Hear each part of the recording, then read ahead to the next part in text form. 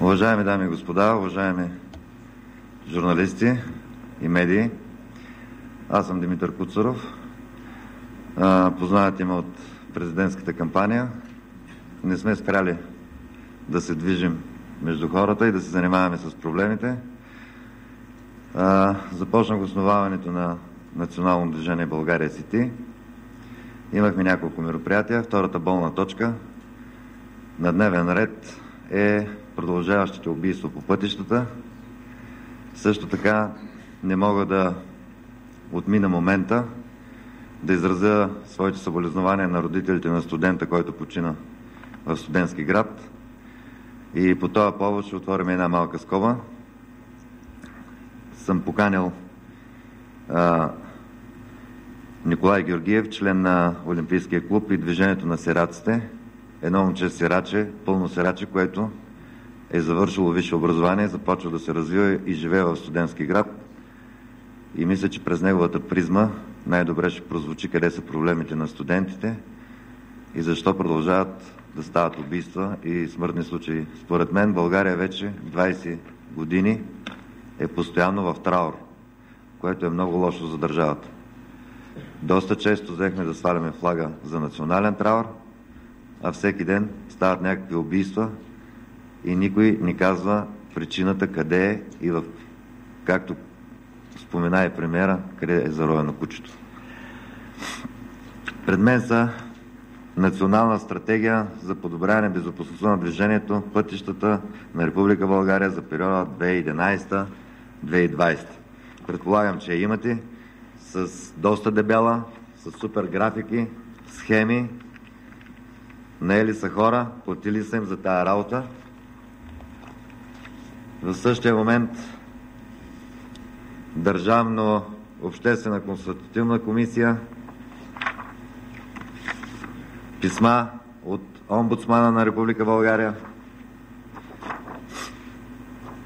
решение номер 946 на Министерски съвет. Спирам се на точка 4.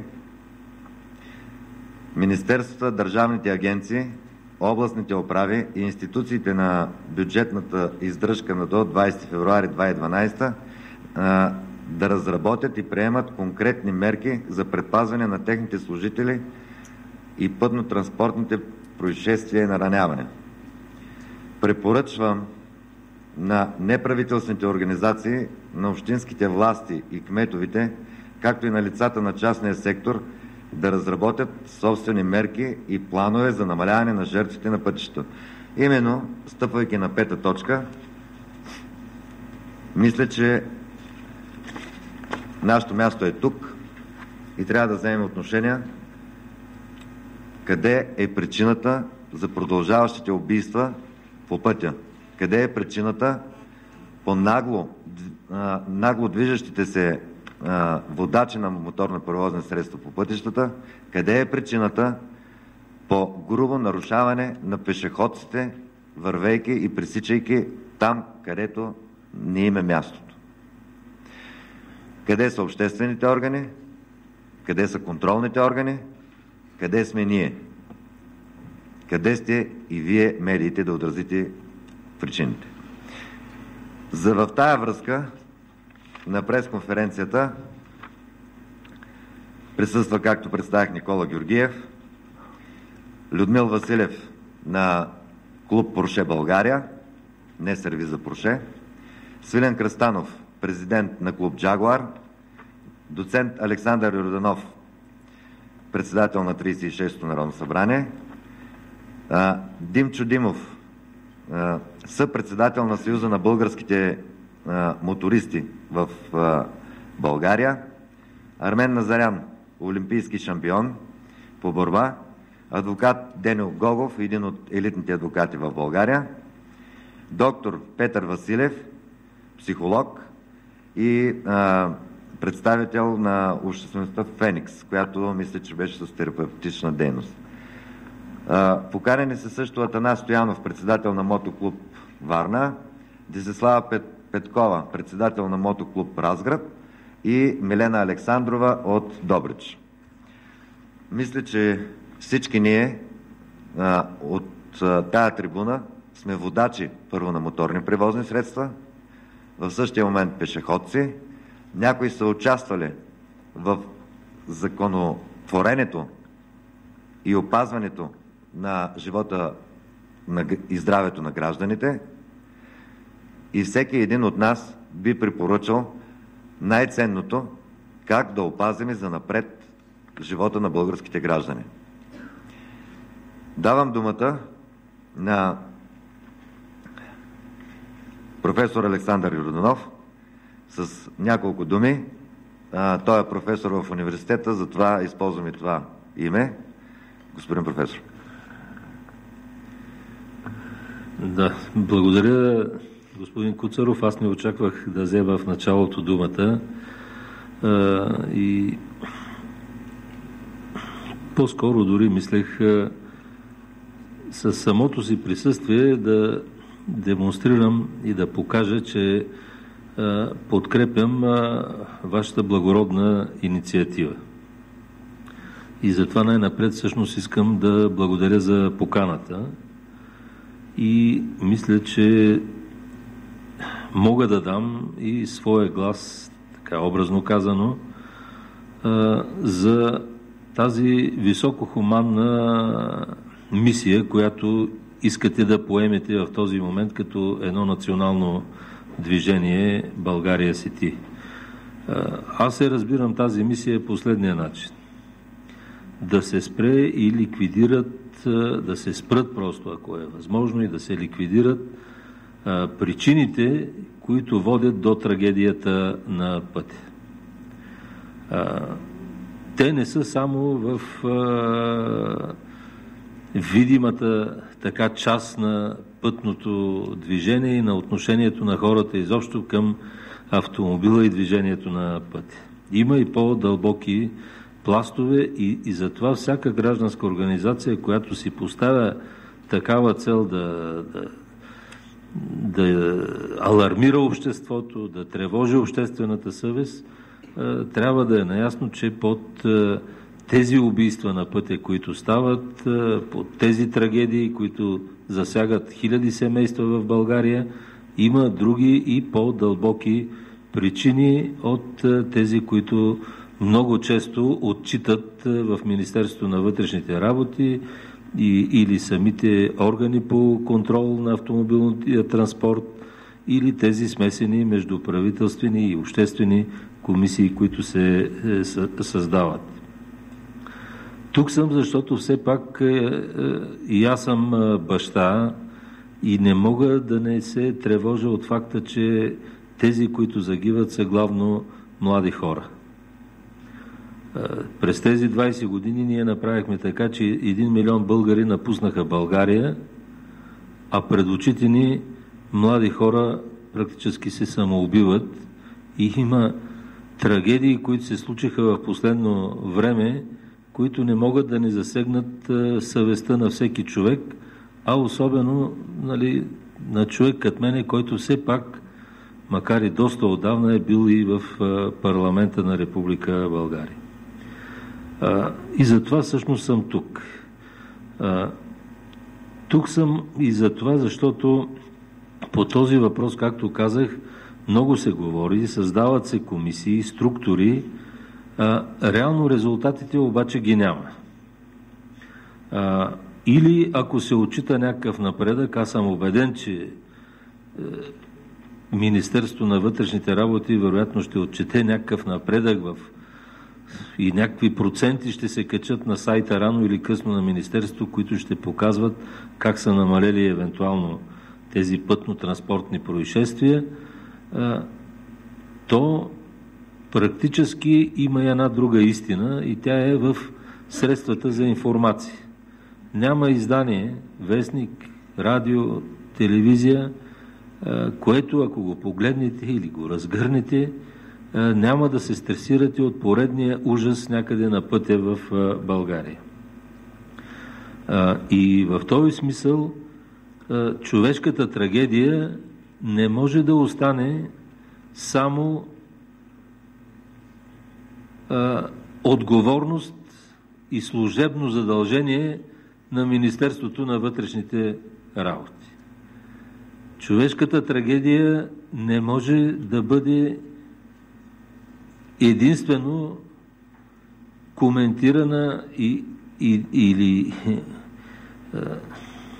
да има отношение към нея само тези, които са овластени е, с власт, тези, които имат едни или други постове в системата на властта.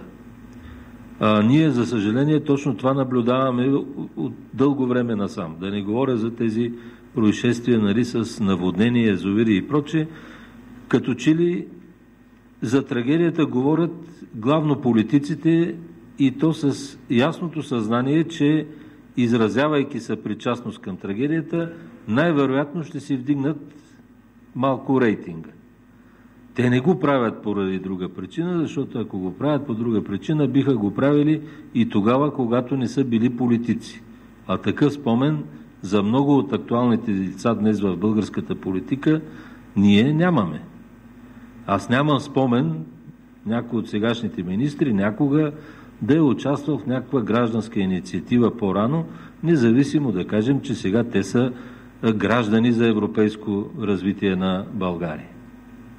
Просто, ако някой от вас ми припомни, бих така бил благодарен. Всъщност, искам да,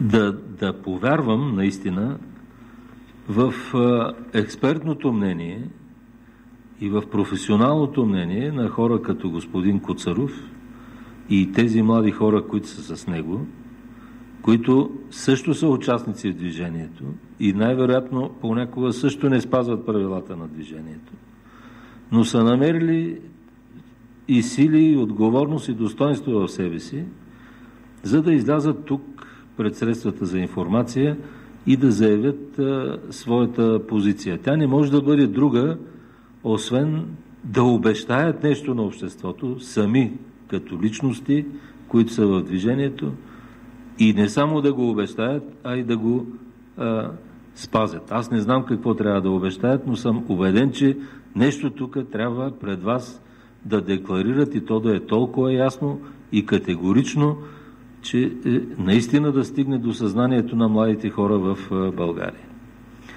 Е, на първо място бих казал, те трябва да забравят, че съществува алкохол и наркотици. Защото една от причините, които убиват на пътя, са алкохола и наркотиците.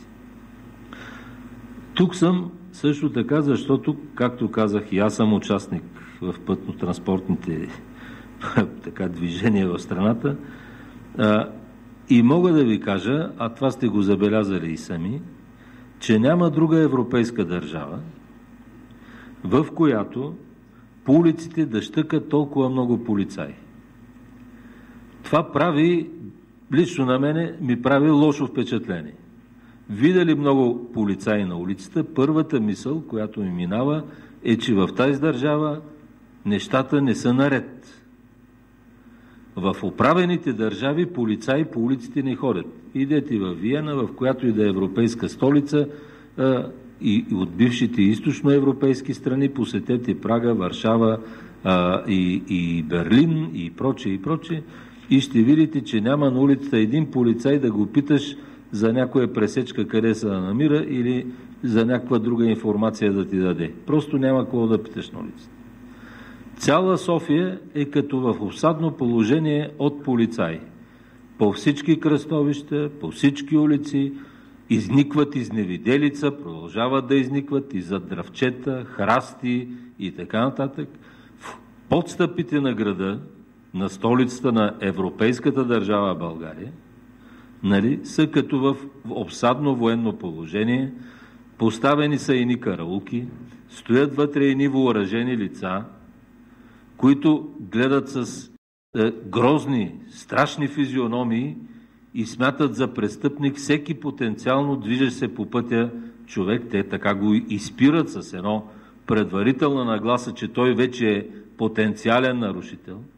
Почват едни безмислени разговори с този гражданин, европеец, защото и българите сме европейски граждани, почват да го притесняват, почват да го тормозят и аз категорично протестирам срещу това българската европейска столица да бъде в такова обсадно положение от органите на Министерството на вътрешните работи.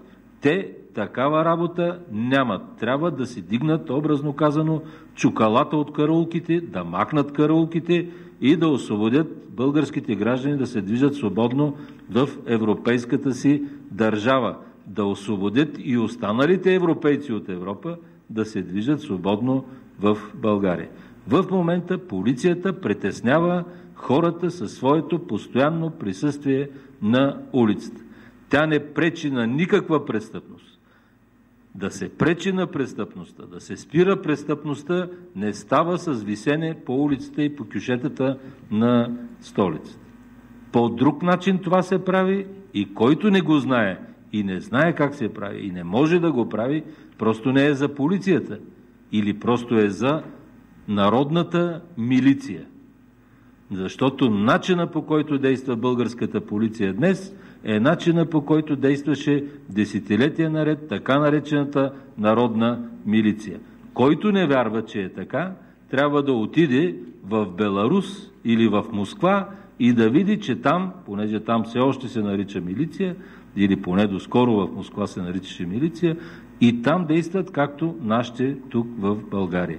Тоест, европейското е само на думи, само в писането на документи, програми, проекти, в хвърляне на праг в очите някъде в Брюксел на чиновниците, а същевременно действителността за човек като мене, който е живял и преди 90-та година и живее и сега, съществено не е променена.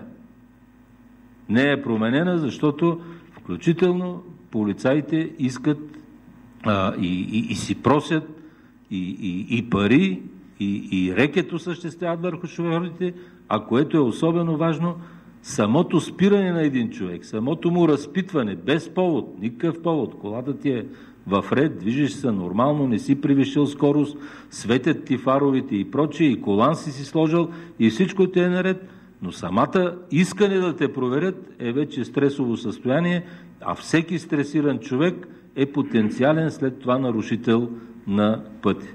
В най-буквалния смисъл на думата, той като те задържи полицая на карулката 20 минути, ти след това ще бързаш да наваксаш по пътя тези 20 минути най-вероятно и сигурно ще превисиш скоростта. Но това е най-малко. Плюс стреса, който се осъществява. Как го правят другите в Европа? Преди всичко превенцията е свързана с развитието на техниката, на модерните технически средства. Наскоро, съвсем случайно, в един разговор, без никакъв повод, нали, и не знаех дори, че ще бъда поканен на такава пресконференция, в разговор с едни професионалисти в сферата на телекомуникациите, разбрах с голяма изненада, че висши служители на Министерството на вътрешните работи не знаят нещо, което те би трябвало да знаят, защото нали, те са вътрешната сигурност на държавата. Аз ако не го знам, е нормално да не знам. Вие ако не знаете, е нормално да не знаете, защото не е наша работа да знаем всичко. Те, например, не знаят, че сега, когато при тях в Министерството се обсъжда да се поставят тези камери или технически средства, да ги наричаме, за наблюдение на пътното движение и за този контрол върху пътното движение без участието вече на самите физически така, личности, полицаи, които да те притесняват на пътя, а да оставим всичко само на техниката в някакъв смисъл, те първа Министерство на вътрешните работи ще прави проекти, ще освоява средства, тази дума като е чуе освоява, аз разбирам, че се кане да се краде отново, нали? ще се освояват средства от Европейския съюз за нещо, което отдавна е направено в България. И това нещо е, че по всички наши пътища и магистрали отдавна са прокарани тези телекомуникационни кабели, които дават възможност на Министерство на вътрешните работи, където иска по пътя, само да забие един такъв колец, един прът и да сложи на него каквото иска и да го свърже в обща система, тъй като България отдавна е свързана под земята в обща телекомуникационна система. Това го разбрах от хора, които са в този бизнес, както е сега модерно да се казва, и които телекомуникационни съоръжения са изграждани и поставени, когато са правени пътища и магистрали в България. И сега се прави същото, когато се правят новите отсечки и магистрали. И се задава въпроса, защо тогава са нужни а, други пари, други пари от Европейския съюз. Аз мятам, че ние се сблъскваме в България с тотална липса на професионализъм във всички сфери. Всеки за първи път открива Америка, сякаш не е живял никъде, света му е непознат, очудва се от това, което открива и вечно започваме от начало. Аз няма да говоря повече, но смятам, че е, в основата на проблема, включително и с безопасността на движението, стои липсата на истински професионализъм, българската аматьорщина, разбирането, че всеки може и разбира от всичко и става и е като дялан камък, където го сложиш, става за всичко – и още нещо, което като че ли вечно подценяваме, това са тези, както се наричат, е, традиционни или сега дори е модерно да се казва европейски ценности, които трябва да ги има всеки е, български гражданин, да ги носи в себе си, още от семейството. Те са ясни, елементарни и те вървят от е, и те стигат именно до това, тяхното неспазване стига до тази агресивност и нетолерантност на пътя. Но вероятно и те не са последното така дъно на нашите трагедии, които се случват по пътищата, защото според мен вече още по-дълбоко в дъното стои въпроса, че ние влязахме в Европейския съюз, но българските граждани не са европейци по доходи. А бедна държава, бедни граждани не могат да, да направят държавата си нито стабилна, нито сигурна, нито силна. А, те самите няма, не могат да имат европейско поведение. В дъното на нашите нещастия, в този смисъл, е, че българина остана на най-низкото така равнище на доходи от всички европейски държави и това е главната причина да има трагедии в България.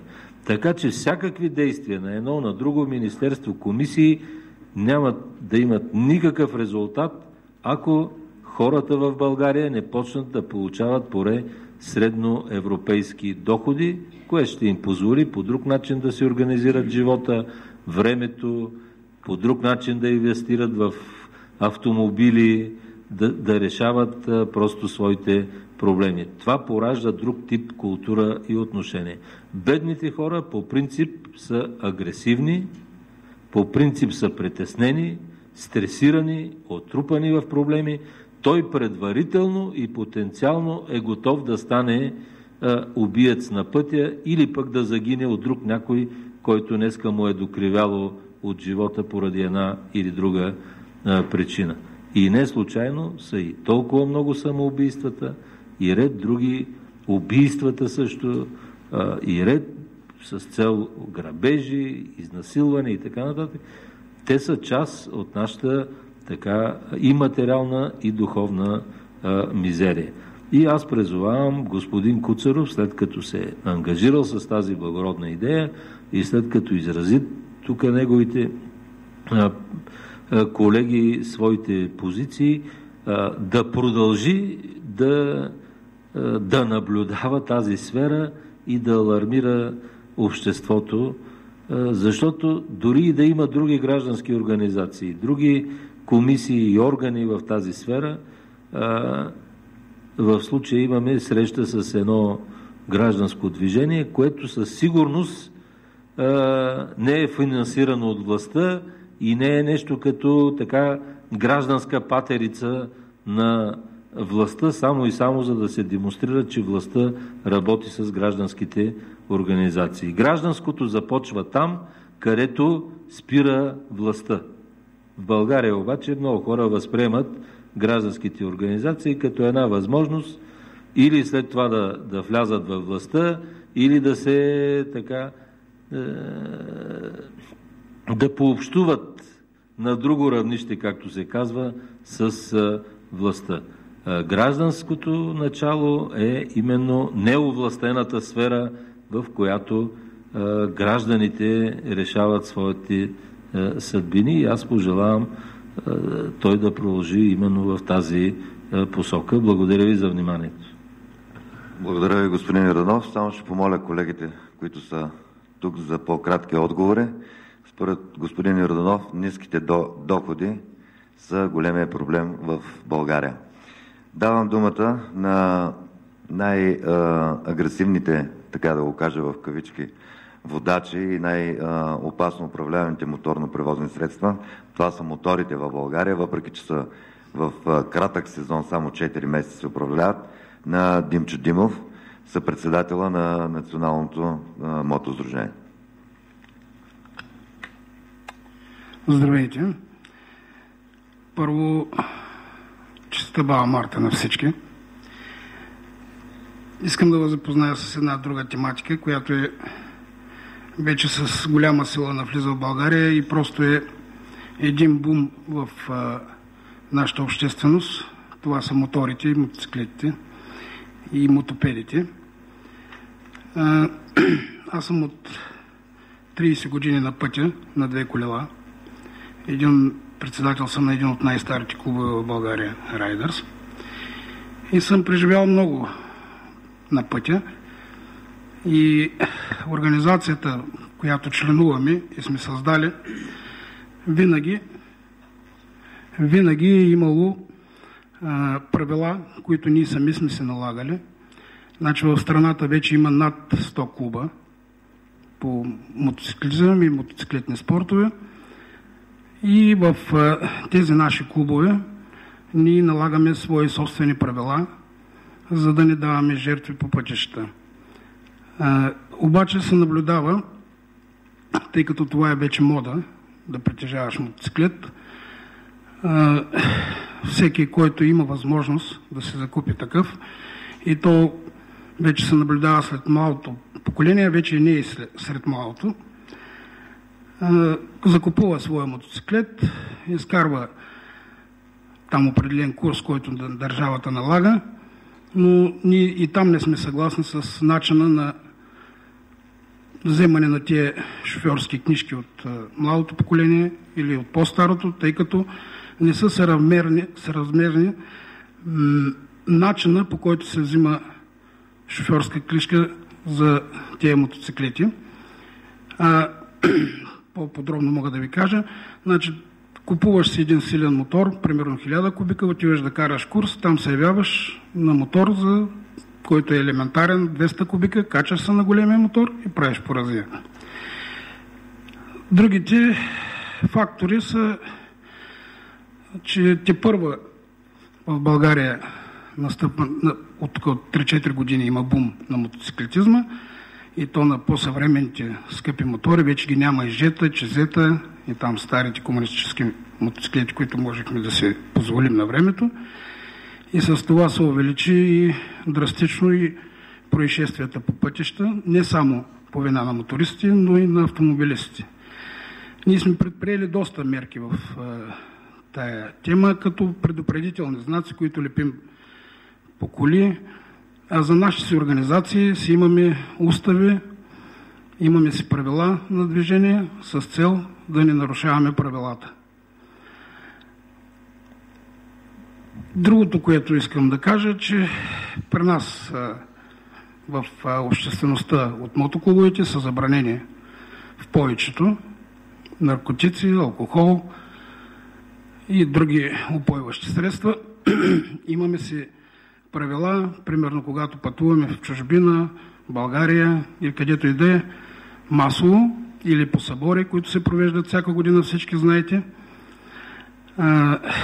Когато се употребяват такива неща, моторите се строяват, даже по-драстични мерки сме прилагали, заключват се, пазят се, отнемат се ключове, сяда се, весели се и на другия ден продължаваш по пътя си, за да не се случват такива ексцесии, каквито се случват в България. И затова от тая трибуна също апелирам, че трябва правителството или държавата да вземе драстични мерки за тия млади мотористи или те недобросъвестни, които в градските условия продължават да не се съобразяват и под въздействието на емоциите правят страхотни нарушения, катастрофи, убийства и така нататък и трябва да има сурови наказания за тях и трябва да се увеличат. И същото въжи и за тези водачи на моторни превозни средства, които са под въздействието на алкохол и опойващи средства. Благодаря. И подкрепям господин Куцаров и мотоклубовете. Го подкрепяме за това негово начинание и му благодарим, понеже за първи път имаме възможност да кажем нашето мнение по въпроса, тъй като и той е моторджия и е с нас на пътя. Благодаря. Пожелавам на, пожелавам на господин Димчо Димов да популяризира а, това, което правят членовете на мотоклубовите и абсолютно го подкрепям да бъдат увеличени наказанията и отговорности на мотористи, които не спазват правилата за движение в България и карат с превишена скорост, особено в населени места. А, тук е и представител на заместник-председател на Порше клуб. Това е една, така да се каже, яростна машина и се управлява от доста млади хора и бизнесмени в България. Давам думата той да сподели какво е неговото мнение и становище на хората, които управляват расови автомобили в България. Благодаря ви. Нашия клуб съществува от 90 от 94-та година съществуваме. Официално сме признати от Штутгарт. Авторизирани сме. От тогава до сега спазваме общоприетите норми и закони в нашата държава и по света. Членовете, които членуват, над 450 члена и самишленици имаме в нашата организация, се подбират много точно в начина на управление и на движение на тези автомобили да не са участвали в транспортни инциденти. Това е нашето мото. Поддържаме а, нашата идея и тук сме м, самишленици с господин Куцаров и идеята за безопасността и движението по пътищата. Правиме ежегодни сбирки на наши приятели, самишленици. Не се допускат категорично наркотици, алкохоли и волни изяви с мощни или по-мало мощни автомобили. Твърдо и категорично заставаме зад позицията на господин Коцаров. Благодаря. В подкрепа на вашето изказване давам думата на президента на Jaguar клуб Свилен Кръстанов. Добър ден! И аз искам да честита този хубав празник 1 март. Надявам се а, поне този месец да имаме по-малко такива поводи, в, заради които сме се събрали сега. Членовете на нашия клуб са делови хора. Ние сме свикнали с правилата.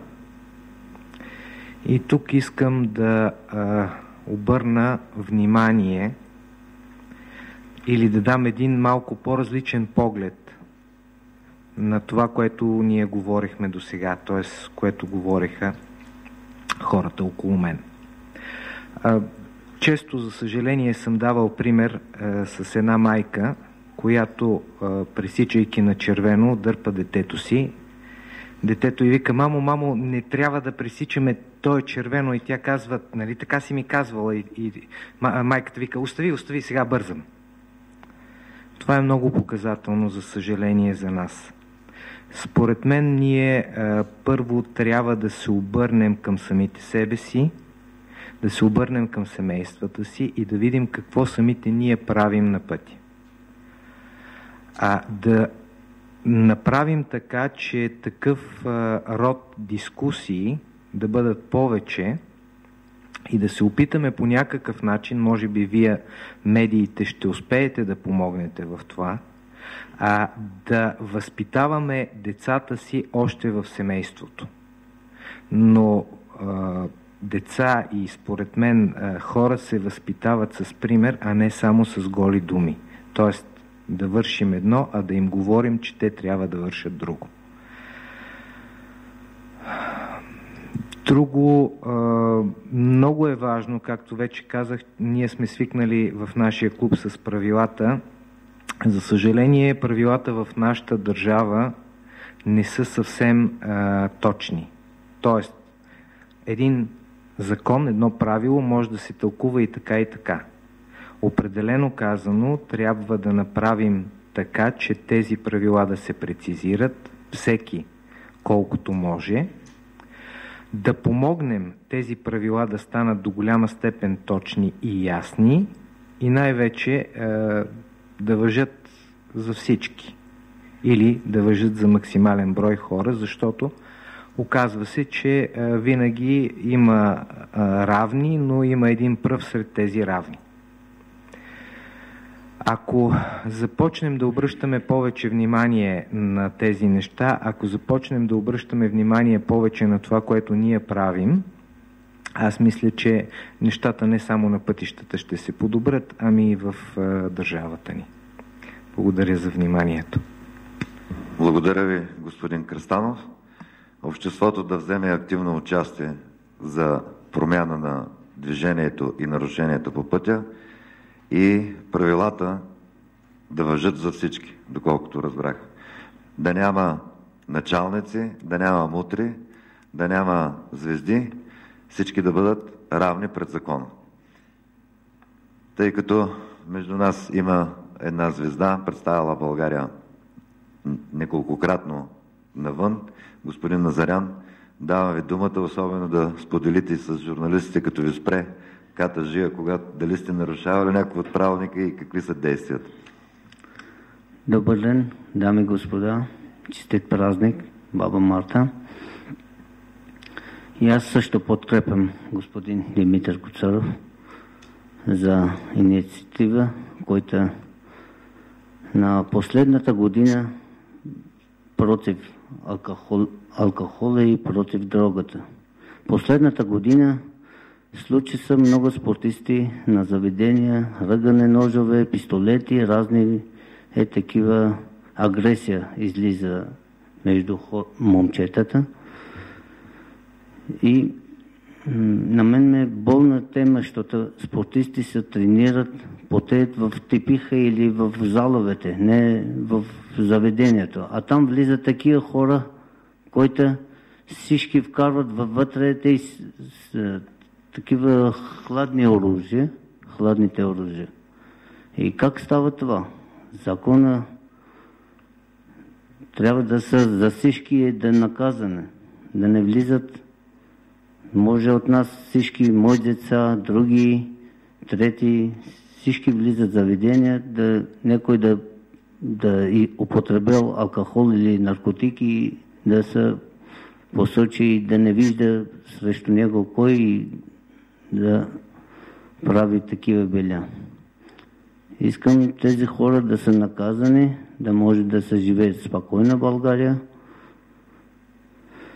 и повече да се спортуват, всеки да хванат спорт и да се занимават спорт. Енергията да харчат спорт. Благодаря ви. господин Назарян да се обърне внимание на охраната по дискотеките и заведенията и употребата на алкохол и енергията на всички млади хора да бъде на тепиха и в спортните зали, а не по пътищата и а, по улиците. А, за влиянието на алкохола, наркотичните вещества, а, ще дам думата на доктор Василев.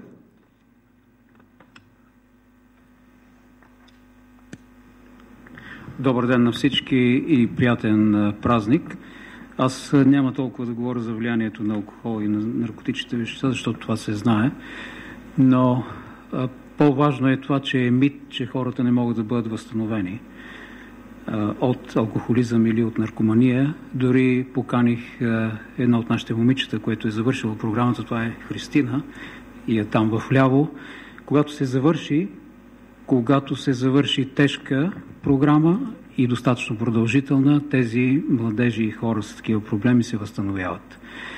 Другата страна на нещата е много сериозна, защото има повече от 500, повече от половин милион български граждани, които имат проблем в смисъла на вредна употреба или злоупотреба с алкохол и наркотици. Може би около 100 000 от тях имат много сериозен проблем, което значи, че трудно се контролират. 50 хиляди от тях въобще не могат да се контролират. Тоест, това е а, болестен проблем и това са хората, с които ние ще се сблъскваме, докато шофираме по улиците. Така че медицинският проблем е изключително сериозен. Психологичният проблем е свързан с това, че хората, които пият или употребяват наркотици, всъщност заместват всичко нормално в себе си, нормалните човешки потребности. И добър знак а, а, за всички нас е инициативата на господин Куцаров, защото тук сме се подредили по един великолепен начин. Има представители на медиите и от различни обществени организации и разбира се, има една много сериозна гражданска активност. Това е начина да подредим обществото си, защото то не е подредено. И това е част от проблема с възникването на алкохолизма и наркоманиите. Тоест, начина е фокус върху всеки и подобряване на човешките отношения, защото иначе нещата са изключително сериозни. Аз ще ви покажа нещо много дребно. Това е швейцарски начин за груба оценка, за скрининг на това дали един човек има 0,5, 1 или 5 промила алкохол. Тоест, виждате колко е елементарно. Елементарен картон може да бъде изготвено с никакви финансови средства и всъщност информира за това, че ако човек си вкара килограмите и пола и количеството алкохол, което е изпил, независимо дали е бира, концентрат или вино, той веднага е наясно колко промила е неговата, колко промила ще даде. Разбира се, има и елементарни тестове, които са слюнчени за алкохол, тези неща се знаят, но това нещо не съм виждал в България, би могло да бъде изготвено, мисля, че бъде полезно, защото е важна перцепцията на това, че имаш проблема. Иначе всеки с така по силата на изкривяванията на собствената си мисъл и, и оправданието на себе си не се замисля след като е пил дали ще започне да кара или не. В крайна сметка превенцията на алкохолизма и наркоманията е нещо много сериозно, трудно, мащабно, но за нас е по-важно превенцията на карането на тези хора, които са пили. И си мисля, че това е фокуса на работата ни и е много ценно това, което правим в момента. Благодаря ви. Доктор, доктор Василев, да подредим обществото и човешките отношения, да вкараме последните технологии и тестове в употреба и превенцията на хората, които са употребяват такива опойващи и алкохолни средства. А, да, искам да чуем няколко думи от страна на закона. Адвокат Гогов. Уважаеми госпожи и господа, аз виждам тази проява, инициирана от господин Куцаров от името на движението за България Сити, като навременна, изключително полезна и като част от тази обществена енергия, която напоследък се надига за създаване, сигурност, безопасност по улиците и пътища на България.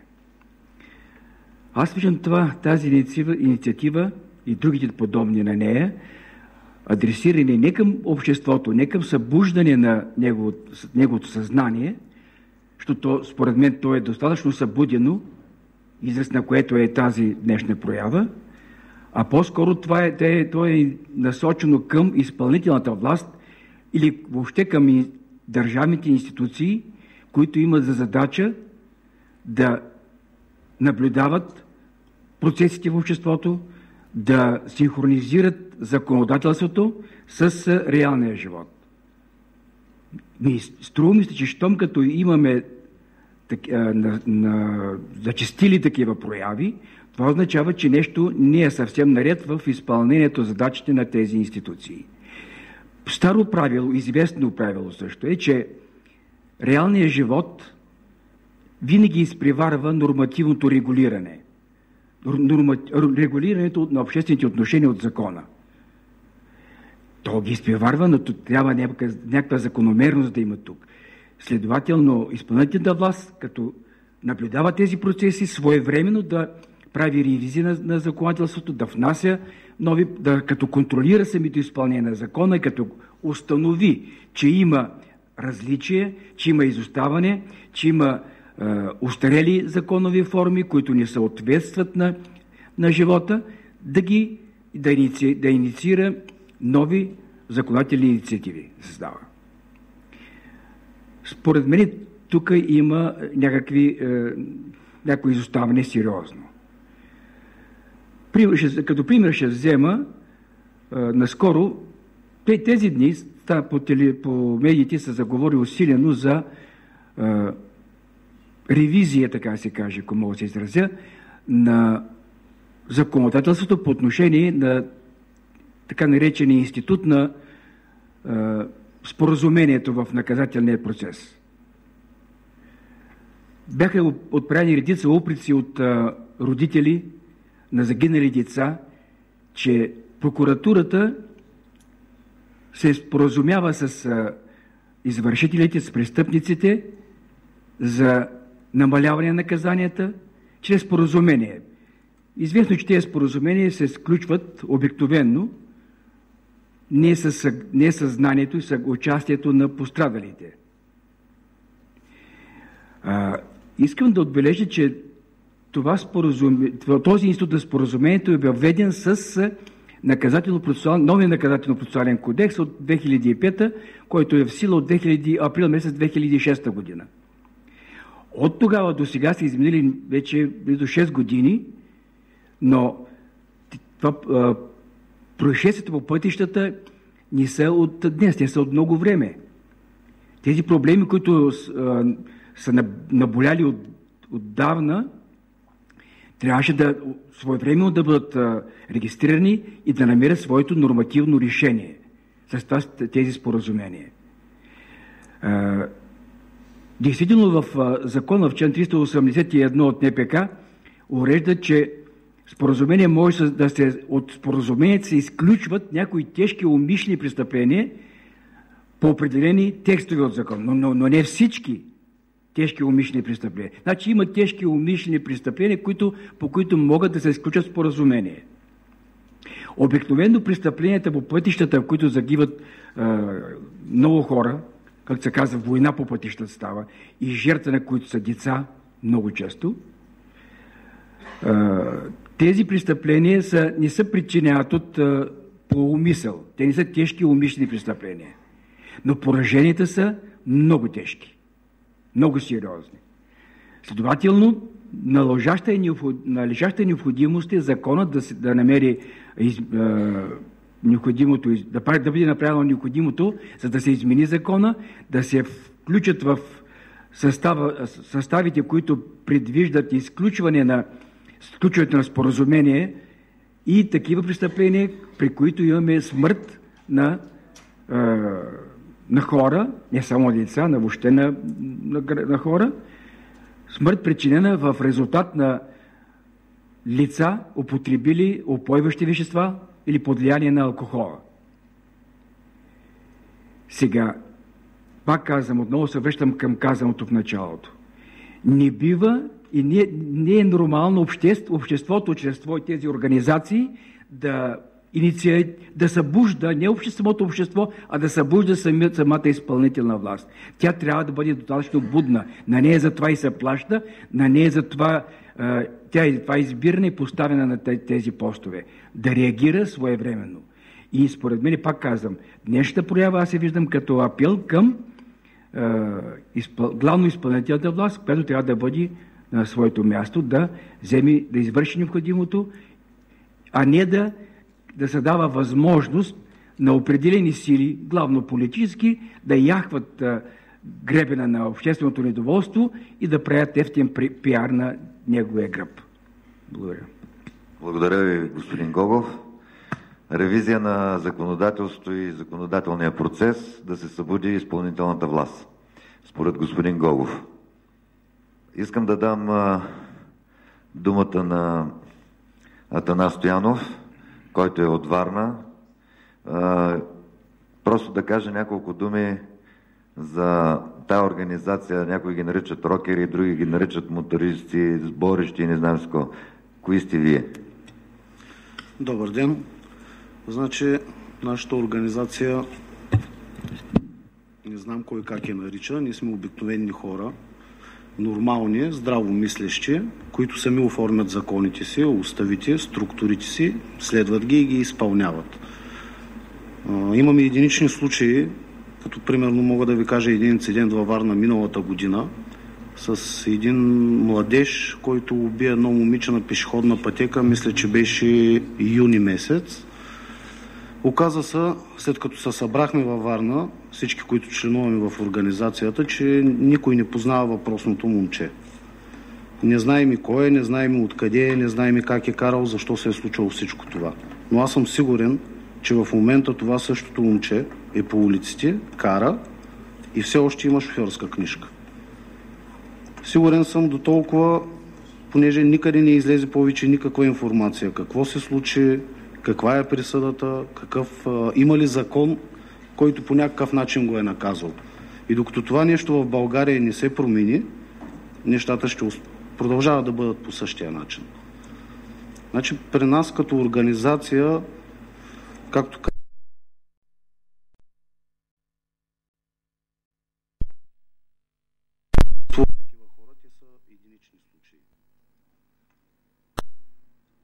Предполагам, че можем да помогнем по някакъв начин на органите на реда, стига да потърсят, потърсят нашата помощ. И сме готови да го направим абсолютно безкорисно, с идеята да почне нещо в България да се променя, да почнат нещата да се случват, както е насякъде в Европа. Не знам какво друго да ви кажа. Мога да ви кажа една приказка, която е така се използва в нашите среди. Значи, моторист не ставаш, моторист се раждаш. Така че ние сме хора много отговорни и винаги може да помогнем. Благодаря. Господин Стоянов, момчето, което е предизвикало убийството на детето във Варна, не е от нашите клубове, разграничават се от тях. В същия момент каза, че никой от управляващите органи, полиция и служби не са се обърнали за съдействие към клуба да помогнат да намерят момчето и да дадат своите предложения за подобряване на законодателната власт и за намаляване на убийствата по пътя. Давам думата на, на Дизислава Петкова, тъй като тя доста тясно работи с обществените организации в Разкът за подпомагане на децата да се обучават за движение по пътя и доколкото видях в справката, Разградска област е доста така ниска с катастрофите и нарушението по пътя. Добър ден.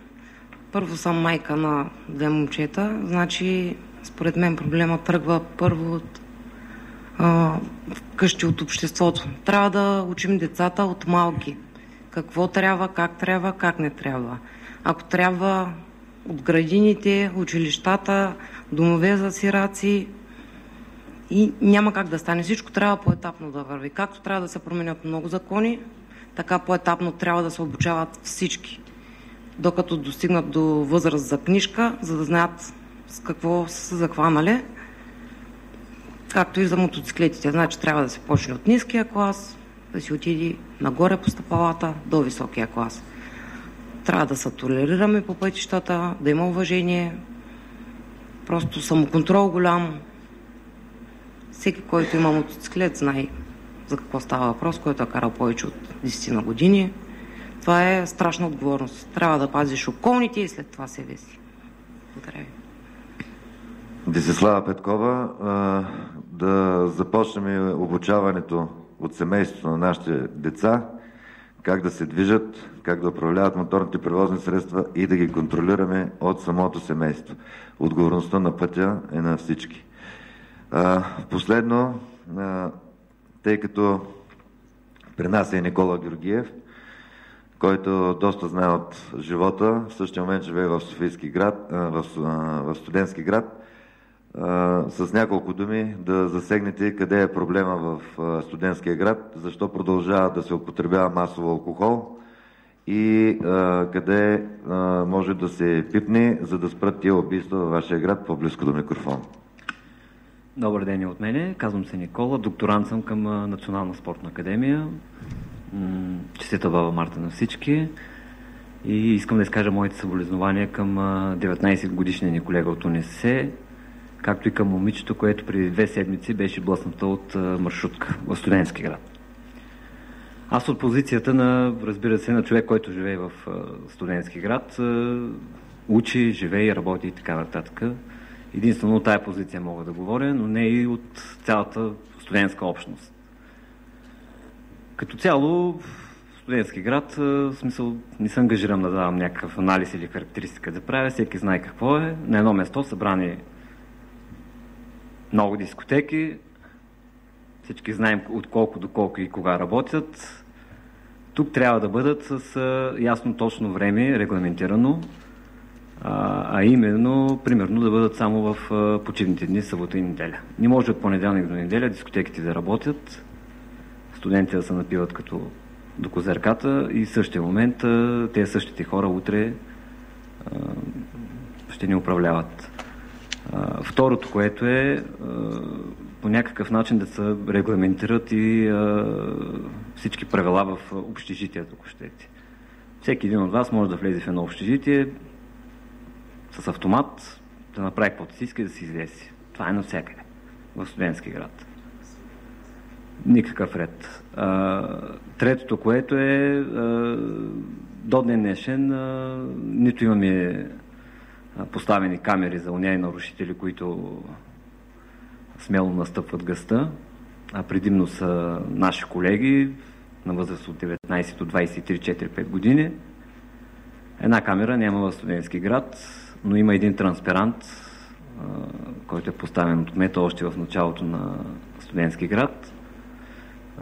Добре дошли студентски град, шофирайте разумно. Нали? Но той е сложен само е така. Смисъл без... Нали? Дали се влага нещо, не знам, но резултатите, ето и миналата година имахме пак наш колега, а, чрез, т.е колеги употребили алкохол, сбивания и така нататък. Последствията ги виждаме. Отиват си лека по лека. И не на последно место, според мен ми се иска държавата по някакъв начин да, да стимулира всички от тези добри водачи на МПС-та, дори ако щете, ще прозвучи малко странно, но по някакъв начин да бъдат освободени от а, такава такса, годишен данък, винетки и така нататък. За всички от тези, които са напълно изрядни. Аз мисля, че по този начин ще стимулираме всички от тези, които сега не знам доколко е, но това е такова, винаги така съм си мислил, по някакъв начин да има и стимул за всеки, който спазва законите по пътя. Аз съм бъдещ шофьор и обещавам, разбира се, да бъда така възпитан и разумно да карам по пътя. Благодаря ви. Благодаря. В заключение само няколко думи, тъй като времето напредна. Извинявам се, Милена, не остана време за теб. С няколко думи. Всички знаем проблемите. Аз предлагам а, няколко неща. Да отпадне правото на полицаите да спират безразборно всеки един водач в Република България с понятието рутинна проверка. След като водача не е нарушил правилата за движение по пътищата, да не бъде по никакъв начин стресиран, спиран и изнудван по пътищата. Моментално ви гарантирам, че 70% от корупцията в полицията ще отпадне. Знаете, че полицията в България е най-многобройната в целия Европейски съюз. Имаме най-много полицаи а, срещу глава от население в, в България. От 56-та година от априлския пленум силите и средствата в българската полиция не, се, не са променени.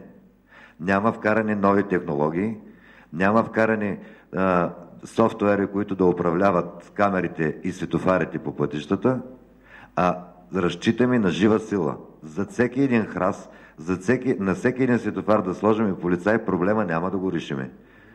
Първото, което е, полицаите трябва да спрат да взимат рушвети, защото в България всеки един, знаете, особено който е повече с пари, кара и извършва престъпление безнаказано, защото първия фактор в България, полицията не работи. Това вече гарантирано го заявявам. Има тук-там някакви проблясъци, но пътният полицай в България не работи. Второто, което е, полицаите трябва да бъдат защитени. Когато спират нарушител, те трябва да бъдат съгласно изискванията и стандартите на Европейския съюз. Оборудването е под всякаква критика. Трето, полицайите са с ниски заплати. Нека да се намали полицията на половина, да се дигнат заплатите, да се направят новите европейски структури и тогава контролният орган за нарушителите ще бъде невероятно добър. Другото място на общината. Общината трябва да хвърли малко повече пари за подлези, надлези, осветяване на пешеходните пътеки и там, където има заявени а, няколко нарушения, особено където има ударени хора, да вземем Сити центъра до хотел Хемус. Колко хора трябва да бъдат блъснати на Сити центъра, за да се сложи един светофар на входа на а, самия паркинг. Аз не знам. Ако вземете да направите една статистика, която е наполовина отразена, там ще видите, че всеки един, един Божи ден се блъскат, всеки, всяка седмица удрят по един пешеходец, въпреки че има пешеходна пътека. Да вземем кръстовището на Опалченска и Патриарха. Светва светофара, колите се набиват една в друга. Това никъде го няма по света. И това е от 17 години. Може да отидете да го заснемете горе от а, болницата и ще видите какъв хаос, как се набиват колите една в друга. Второто нещо.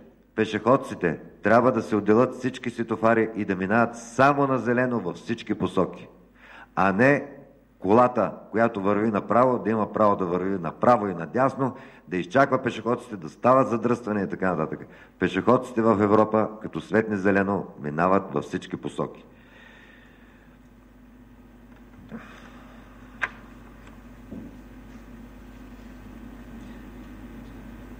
Да се, засили, контролната дейност на общините по нарушението на пешеходците. Пешеходците трябва да бъдат санкционирани наравно с водачите. Не може всички да си пресичаме там, където трябва и където не трябва. Отговорността на пешеходеца трябва да бъде и наказателна. Пешеходец предизвикал катастрофа, пешеходец предизвикал убийството на друг пешеходец, трябва да си носи абсолютно отговорността. Трябва да се махне всякакъв вид проговорки, преговорки и тем подобни с прокуратурата. Това трябва да отпадне. Когато убиеме човек на пътя, следствието да си каже думата, да споразуменията трябва тотално да отпаднат. Трябва да се дигне, да имаме граница от 2 години до 10 години, когато убиеме на пътник или причиниме смърт на друг участник в движението на пътя, ако сме употребили алкохол, наркотици, лекарства, които влияят също така на рефлекса на водача. Последното, което искам да взема отношение, това е за студентски град. апелираме само в, в петък и събота заведенията да работят. През другото време всички заведения през седмицата да се забранят моментално от госпожа Фандъкова да работят. Включително самите супермаркети, продаващи алкохол, след 10 часа да не работят. И завършвам а, днешната пресконференция с това, че обявявам и каня на 20 март в Шератън, в зала Лозенец. Обявяваме да направим кръгла маса, каним премиера Бойко Борисов, някои посланици с развити а, инфраструктури и движение по пътищата, министъра на образованието, министъра на съдебната власт, главния прокурор и а, граждански и национални движения, които имат отношение към този вод. Моля за въпроси от журналисти. Вътрешния министр задължително. Добре, поне се намесих. Иляна Беновска, Радио К2, поради значимостта на темата, ние са причастни и към вашата инициатива, и към темата го излучваме на живо. Господин Куцаров, вие току-що показахте, че един много компетентен екип може да бъде събран около една тема, която често служи за спекулации. Въпросът ми е, как това, което се е, произнася тук на тази маса, е, ще събудите законодателната и изпълнителната власт ефективно? Как това няма да остане само тук в фазата на разсъждение? Знам, че ви задавам трудна задача. И второ, а, Национално движение България си ти дава ли заявка за реално влизане в политиката без гръмки, а с конкретни работещи от ежедневието идеи? Благодаря ви. Тук що казах на 20 септември, на цялата законодателна власт, 20 март в Шератън и мисля, че това е първия знак да видим дали имаме власт, дали имаме законотворци, дали имаме контролни органи да дойдат на кръглата маса. Извинявайте, но вие изредихте вътрешния министр, министърът на образованието, председателя на Народното събрание или не чух, министъра на правосъдието, Подробна... главния прокурор. Ако не дойдат, и както подозирам? Ако не дойдат, отговорността е тяхна, тъй като ще кръглата маса, а, мисля, че а, трябва да се разбере в България, тя се свиква от обществото, а не а, Калин Георгиев или Светан Светанов да се правят кръгли маси, на които да се произнася председателя на Шел. Съжалявам много. Не виждам някакво отношение на Шел, как ще помогне за движението по пътищата. Това е под всякаква критика. Кръгли маси се правят от обществото, от движения, от партия, ако трябва, но представители на обществото. Не може изпълнителната власт. Тя може да се прави кръгли маси с други министри, на международна такова и така нататък. Да се разграничим от тия неща.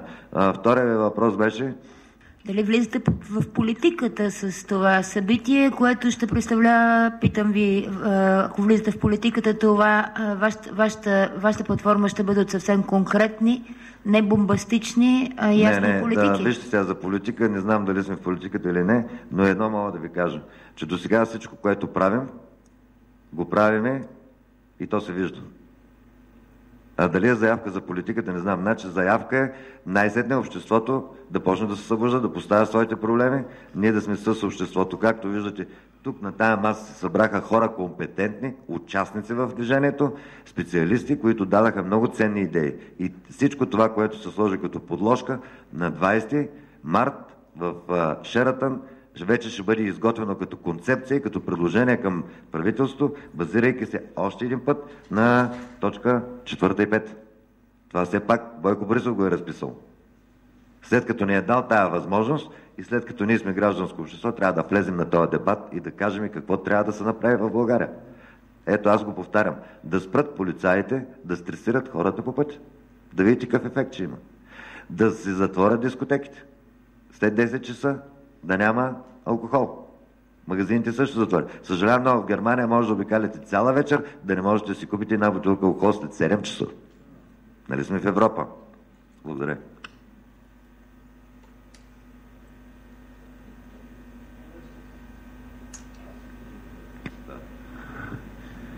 Аз искам да кажа още нещо, което мисля, че така го мислих, но може би забравих. А, на мен ми прави впечатление, че темата корупция е изключително актуална. Няма журналист, който да не коментира темата корупция. Има една чувствителност на медиите, на, на, всички медии просто по тази а, тема и същевременно изключително много на тази тема се говори и от самите политици. Като че ли обществото е единодушно.